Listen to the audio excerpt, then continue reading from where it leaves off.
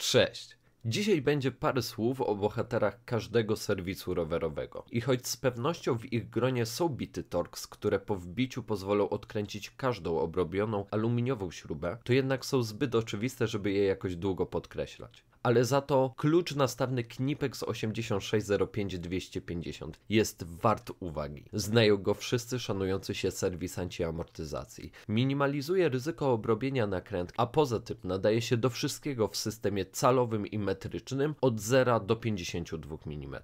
Jest niezastąpiony. Tak samo jak te długie szczypce. No i HHS 5000. To totalny wyższy level WD-40 jest tak skuteczny, że w połączeniu z kilogramem rdzy potrafi wyjść z tego poprawnie działająca przerzutka. Płynny, świetnie penetrujący, idealnie smarujący. No i ten atomizer ciśnieniowy od Kingtony. Choć oryginalnie jest to koncepcja Forsza, pompowany do 6,3 bara, zwykłym wentylem Schroedera pozwala na rozpylenie właściwie wszystkiego od smarów po zmywacze. W każdej chwili mamy możliwość zmiany strumienia pomiędzy precyzyjną dyszą, którą sięgniemy najgłębszych zakamarków i nie zasmarujemy całej okolicy, a strumieniem szerokim, idealnym do zmywaczy i czyszczenia. Na serwisach trafiają się też czarni bohaterowie jak baciki, które powinny być zakazane. Urywają się, gną, wymiękają, gdy klient dowali zakrętkę kasety ile miał pary w łapie. I serio, nie zmieni tego nawet dobry bacik od Uniora, ani też takie szczypce zaciskowe do odkręcania kaset, które może mają dużo siły, ale są wolne w obsłudze. Przed wami trzech ostatnich, ale moim zdaniem najważniejszych bohaterów tego odcinka. Unior 1670 przez 2,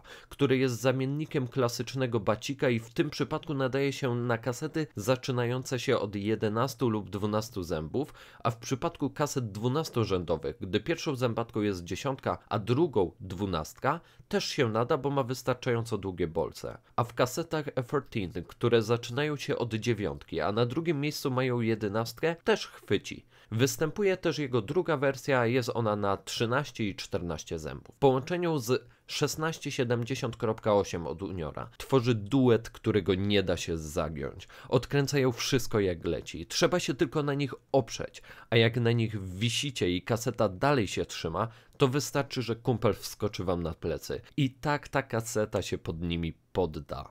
Nie gną się i mimo odkręcenia kaset liczonych w tysiącach, to te klucze, które mam w ręku, nie noszą nawet znaczących śladów użytkowania. Kolejne są szczypce dolinek Unior 1642.1, nazywane też third handem, czyli trzecią ręką serwisanta. Sprawdzą się do napinania linek. Możemy sobie spokojnie tam, gdzie nie mielibyśmy ręki, żeby coś przytrzymać, chwycić linkę, sprawdzić, czy jest odpowiedni skok klamki, precyzyjnie wyregulować długość linki co do milimetra i dokręcić ale pamiętajcie, że dokręcamy właściwym końcem klucza imbusowego, a nie końcówką kulową, która obrabia śruby. Jako jego drugie zastosowanie warto podkreślić zaciskanie opasek, które realizuje z siłą nie do podrobienia. A poza tym, jak nie potrzebujemy końcówki trytytki, to możemy sobie ją po prostu urwać. I ostatni przedmiot to ta niepozorna buteleczka z bardzo wąskim dzióbkiem. W tym przypadku jest to po prostu pojemnik po likwidzie od e-papierosa. Wąski dzióbek pozwala nie wylewać się substancji, gdy tylko przechylimy buteleczkę,